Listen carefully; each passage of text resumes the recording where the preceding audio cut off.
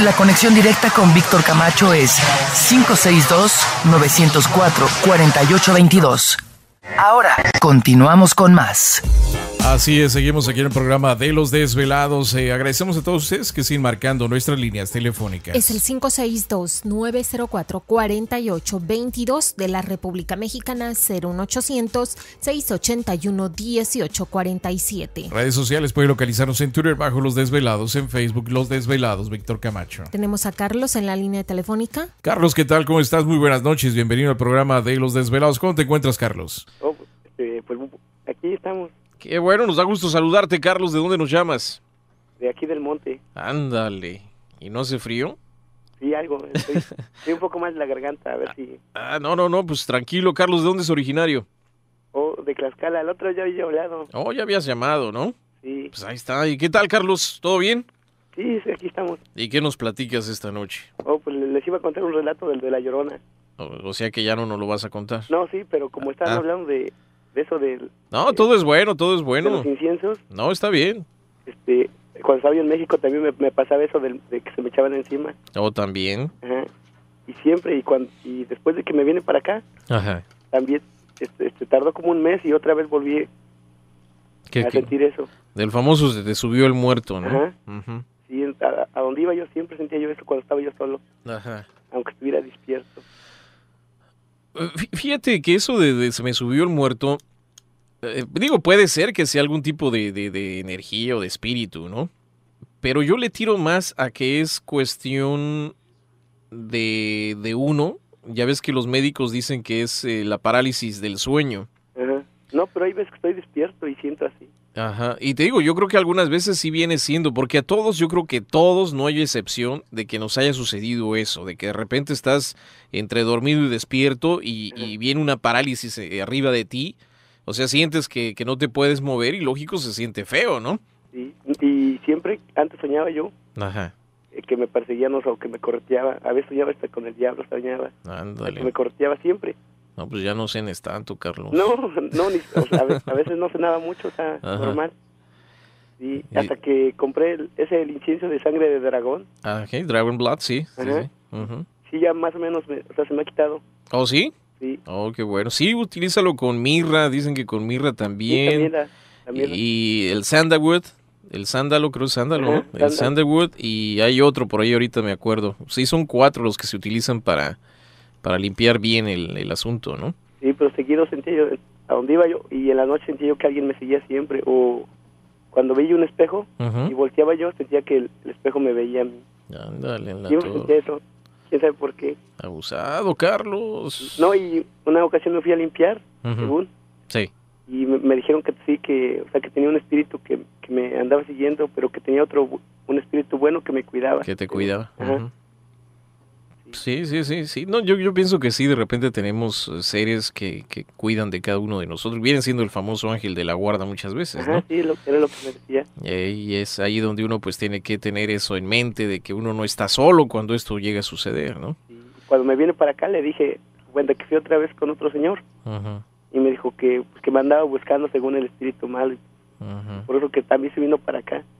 ujú. Según lo que me dijo, Sí, hay tantas cosas ahí de repente, Carlos, pero pues te agradezco muchísimo por compartir esto con nosotros y este, bueno, gracias por estar atento al programa. Un abrazo a la distancia en esta noche madrugada. Continúa marcando al 562-904-4822 de la República Mexicana 01800-681-1847. Tenemos a Antonio en la línea telefónica. Antonio, ¿qué tal? ¿Cómo estás? Muy buenas noches. Bienvenido al programa de Los Desvelados. ¿Cómo te encuentras, Antonio? Aló, buenas noches. Una pregunta, ¿se oye bien el celular? Perfectamente bien, Antonio. Ok, sí, es que lo tengo en speaker. Bueno, sí, Hijo. yo le estaba relatando, Víctor, al que me atendió. Sí, Fíjate, yo tenía 14 años en mi país, ¿verdad? ok. Y tú sabes que en el campo la electricidad es muy escasa Ajá. y uno atiende y se acuesta muy temprano. Entonces nos fuimos a acostar ese día bien temprano y eh, durante la noche yo me levanté sonámbulo, caminé un poco atrás de la casa donde pasaba un río, un río muy pequeño y entonces este en el mismo sueño yo regreso a dormir y cuando me despierto estoy en mi cama. Mm. Pero el, el- el- lo curioso del caso fue de que yo vi a una muchacha que me llamó y me llevó al lugar de, de donde ah, ella había sido asesinada, pero yo no sabía, yo no conocía a la muchacha para nada. O sea, sí, sí, sí, te escucho, te escucho. Entonces, ¿verdad? Yo me levanto y le cuento a mi hermano el mayor lo que había soñado. En eso, pues no le tomamos mucha importancia. Ya en la tarde se oye el rumor de que esa muchacha, de hecho, se llamaba Susana, había sido violada por un señor que se llamaba Francisco, que él siempre la pretendía y ella lo rechazaba, pero yo no conocía a ambos de ellos porque yo era estaba nuevo en el lugar, en el campo donde estaban mis abuelos. Ok. Entonces, pero yo en el sueño, a la misma vez, recuerdo que ella me había dicho, me había mencionado el nombre de Francisco en, en varias ocasiones. Ujú. Entonces vine yo, yo comenté cuando llegó el médico forense y todo. Corre- Se corre bien rápido, ¿no? Entonces, y yo había comentado que yo había soñado algo así. Entonces viene el señor y me dice, ¿qué soñaste? Y yo le dije, bueno, yo soñé esto y esto, pero yo ya no la conozco. Y le mencioné el nombre Francisco. Ok. Entonces resulta que sí, ellos pudieron darse cuenta de que el señor, el, el que la había asesinado, la había violado y la había asesinado. Pero lo extraño es de que yo no conocía ni al señor ni a ella. Y dices que fue un sueño el que tuviste. Exacto, pero yo lo sentí bien real. Yo me acuerdo que yo abrí la puerta, caminé a la área esa donde había un, un río bien pequeño y en ese mismo lugar ahí ella, habían encontrado el cadáver de ella, pero yo no, mm, como lo repito, no conocía ni a ella ni a él y fue algo bien, este, me tomó mucho tiempo para poderme, este, como liberar de eso. Que cuando iba a dormir, de hecho, tenía mucho miedo porque me decía, ¿sabes qué? Ella te va, te, te pudo haber estado usando para que dijeras quién había hecho el crimen. Y ahora tú, tú hablaste con la policía o, o la policía encontró el cuerpo y ya después tú te diste cuenta de que había soñado ese lugar. No, no, lo que pasó fue cuando comenzaron la bulla que habían hallado la persona, este, la muchacha que se llamaba Susana, el cadáver de ella. Ajá. Entonces, y se me vino a mí a la mente que ese mismo tipo de sueño en la misma área, ahí yo había ido. Entonces fue cuando yo le comenté a mi hermano y después el médico forense, yo hablé con él y le, y le dije de que yo había soñado exactamente, no cuando la violó ni la mató, sino que había ido al lugar con ella Ajá. y me había dicho en varias ocasiones, Francisco, Francisco, pero parte del sueño yo pienso que yo lo borré. Porque a lo mejor sí pudo haberme dicho, mira, fue Francisco el que me hizo esto y esto, pero yo lo sentí tan real como lo repito, yo me acuerdo de haberme levantado, abrir la puerta y caminar hasta el lugar y después regresar y, y acostarme en el mismo lugar donde estaba. O sea que fue de manera física, piensas tú, tal vez. Pero yo lo sentí tan real, Ajá. este fue una experiencia tremenda, tremenda y eso ayudó también cuando yo comenté, pero yo pienso que si eso hubiera pasado en este país a lo mejor estuviera preso. Porque Ajá. como ellos se dieron cuenta de que era un chavalillo y que no tenía mucho tiempo en el lugar y no conocía muy bien la área, que estaba de campo ahí con mis abuelos, y entonces ellos pudieron investigar quién era Francisco. Claro. Y entonces se dieron cuenta, pero fue algo bien, este, de primero me, dio, me daba mucho pánico porque tú sabes, algo así, no, muy, este, fue muy real. No, increíble eso, ¿eh? lo, lo que te pasó.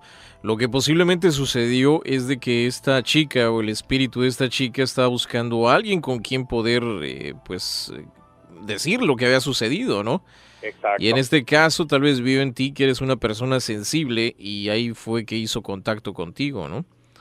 Pero, pero no, esto confirma realmente de que puede haber un enlace de repente entre el más allá y nosotros, sobre todo cuando, pues me imagino que el espíritu de esta chica buscaba eh, tipo de, de- de- venganza, bueno, no, no es venganza la palabra correcta, pero que se dieran cuenta que había ocurrido, ¿no? ayudar, sí. Y yo pienso, fíjate, que yo pienso que sí, tal vez me pudo haber dicho lo que pasó, pero no recuerdo porque tengo muy ese problema. Yo sueño y el siguiente día no me acuerdo parte del sueño, o sea. Con una regresión yo creo sí recordarías lo que sucedió, ¿eh?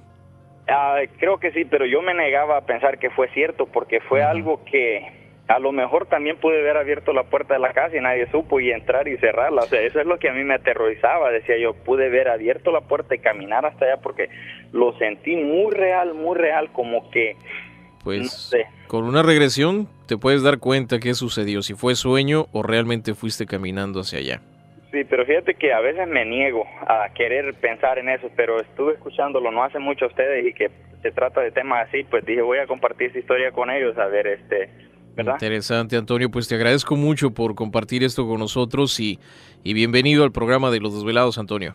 Gracias a ustedes. Ustedes me van a hacer todas las noches. Ahora tengo el turno de noche y pues, Pues siempre ahí la emisora prendida. Bienvenido. Antonio pasa la voz y te agradecemos muchísimo por estar pendiente del programa de Los Desvelados. Nosotros vamos rapidísimo a nuestra pausa.